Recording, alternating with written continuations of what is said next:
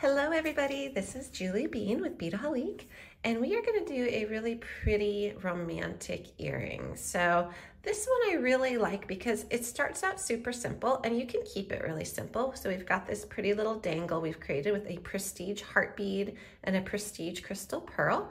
And then we've got these beautiful Nunn Design findings as well. Now, what kind of elevates this design is a little bit of wire wrapping we're gonna do along the stem of the earring here. So I really love this. I'm gonna start to do this a lot more because I think it just adds such a nice, delicate touch to it and it's not very hard to do. Um, but you could you could keep this earring very simple and just do the little heart dangle. And I'm gonna show you what that looks like first so you can see what that would be like but we are gonna do in the video the wire wrapping. So what you're going to need is you're going to need your findings. So the findings are the earring hook. This is by Nunn Design. It's a really interesting shape. And you're going to need a head pin. I'm also using a Nunn Design so the finish matches. So if you look at this, you'll see that it is an antique silver and it's kind of a matte antique silver. So I'm gonna use the matching findings. Then I'm gonna be using this really pretty little heart bead. You can see how that sparkles and a peach pearl. So if you are watching this in 2024, the Pantone color of the year is peach fuzz. So we're incorporating a peach element into our design so that this is very on trend. But of course, peach is a great neutral, it's a great romantic color. So you would be able to use this any year, any season. Of course, it's just a really pretty romantic, soft design. Then we're gonna be using these seed beads. This is a milky peach. So we're gonna be using those as well. So those are our basic supplies. Oh yes, and 26 gauge wire, about eight inches per earring. Our toolkit is our basic one that we always use. We've got a wire looping plier. You could do round nose if you'd prefer. A pair of chain nose that are fine. So this is a really nice tapered uh, slim nosed one and then another pair of chain nose pliers and a cutter. So pretty basic, your standard tools that we tend to use in almost every video. And then you've got your pretty supplies. I'm gonna clear the tools away first so that we have a little bit less clutter on our table. And we will start first by cutting our wire. So like I mentioned, you're going to want about eight inches. So you're just gonna cut that off the spool with your snips. So that wire is now done. We're gonna go ahead and make a little pile of beads for ourselves. So we're just going to take the lid off. We're only using, I think it was seven, I'll recount, but I think it's seven beads per earring. So I'm only going part way up the stem. I don't want it too close to where it actually sits in your ear because I don't want it to be uncomfortable. All right, let's go ahead and make ourselves an earring. All right, so we're gonna put our wire aside for a minute and we are going to make our little dangle first because I do wanna show you what this earring would look like without the wire wrapping. So really simple to do. This is uh, pretty basic here. We're just gonna go ahead and put on the little bead followed by a pearl and slide it down like so. And these are actually done now, so we don't need all of those. And now we're gonna make a loop. I'm gonna do a, a, wrapped wire loop and I'm gonna do it with enough space that I can do several wrappings as you see in the sample here because I'm kind of going with that wrapped theme of the earring because it's got the wire wrapping up here. So that's why I chose to do a wrapped wire loop. Okay, so you just grab it and you have a little gap right there. So what you're gonna do is just have it between the nose of your pliers with that little gap, and that little gap is where you're gonna do your wrappings, and squeeze. And the wire looping plier does some of the work for you. Bend it down, rotate it up, and crisscross.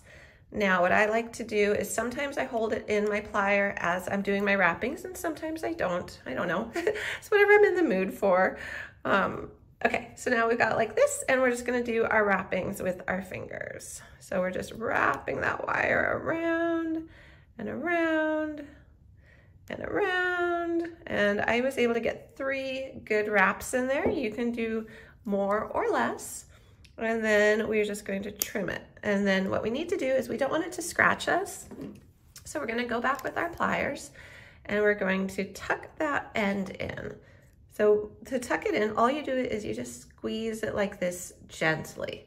And it's that rough little wire that we just cut. So we're just gonna squeeze that inward so it kind of stays tucked within the wrapping and is not gonna scratch your skin. But here is our finished little dangle. And I'm gonna put that on the earring hook first so you can see what it is. Now, sometimes these earring hooks come where there's not that big of a gap. You see here, this one has a little bigger gap.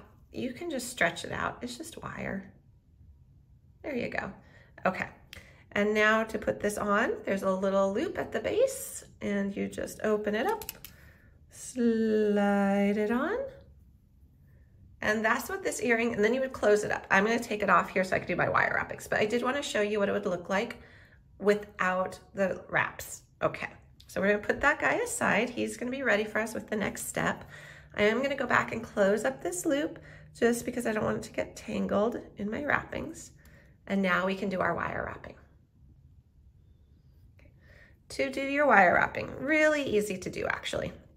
You've got your wire, it's about eight inches, which is probably too much, but that's okay. Um, you're going to lay it against your hook where you want it to start. And let me count one, two, three, four, five, six, seven. Yeah, I have seven beads. So gonna get my beads ready. Let me clear this away. Okay, so you want it to start right here above your loop. You want a little tail. That little tail you're gonna trim off eventually, but it's gonna help you hold on to it so it doesn't slip. So I'm holding the loop and I'm holding the tail and I'm going around and I just kind of tucked in from here so I could get into the midsection and around. And I'm gonna do a good five or six wraps right here. And I'm gonna try to make them as tight together as I can. And I'm just kind of snagging in and around that hook. So I keep going on the inside. This is 26 gauge wire, which is nice and soft and easy to work with. All right, so I've got my little spirals right there. And you can see there's a little gap right here. If we look really closely, you can try to tighten that up right now, but this also can slide. So I could just push it down towards the end. So that is the beginning. Now I'm gonna go back to my original earring because this is a matched pair. I want it to be pretty similar and kind of make sure that my wrappings are pretty close to looking like each other. Okay, so they are. So now we're ready to add our first bead. To add your first bead, just go ahead and take your wire and use it like a needle and pick up one of your beads. Let it slide all the way down. And now you're gonna help it. Let me move my tools out of the way. So what you're gonna do is you are gonna have it rest on top of the earring hook on the outside. So I just kind of pushed it up there and I'm holding it in place. Now I'm gonna do a wrap and I'm still holding that little bead in there. And I'm gonna go up and over and up and over again. And that is our first little bead on there. So you can kind of see how those wrappings are looking.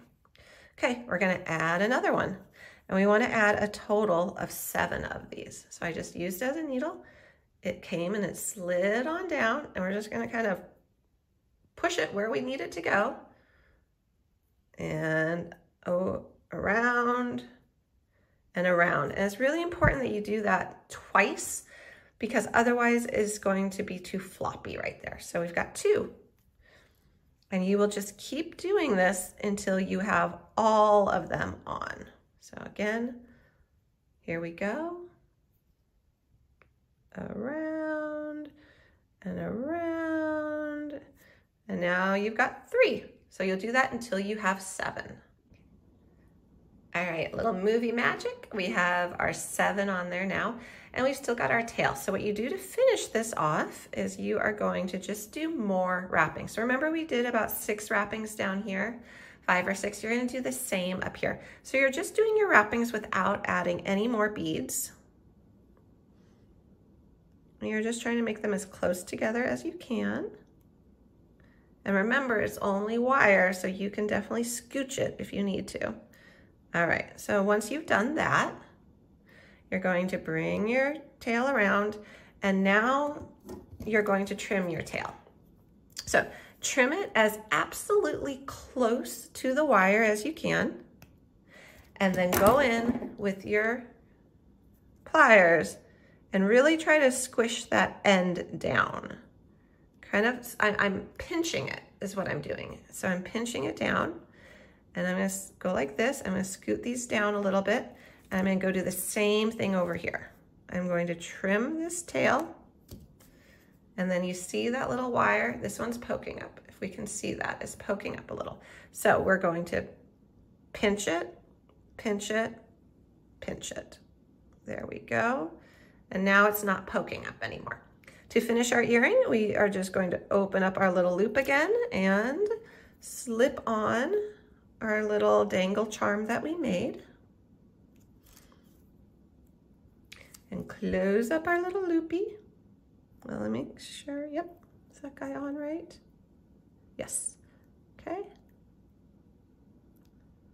Okay, we're done, hooray. So here's our earring with that delicate, delicate little extra that we did for the weaving. So, or not the weaving, but the wire wrapping. So there's our finished heart earring. It's our, our sweet little earrings here. And we've got the matched pair. And that was pretty quick and easy to make. It didn't take that long, but I, I do like the wire wrapping. So it's a consideration if you wanna add just a little something extra. And these hooks by Nunn Design are so great for being able to do that too. All right, thank you guys for watching. I hope you enjoyed it. You can view a lot more tutorials over at beadaholique.com or subscribe to this YouTube channel. We have hundreds and hundreds, maybe even, I know we have over a thousand, maybe over 2,000 videos at this time. I'd have to check, but a ton of jewelry making knowledge that we love to share. Thank you, everyone. Have a great rest of your day. Thanks. Bye.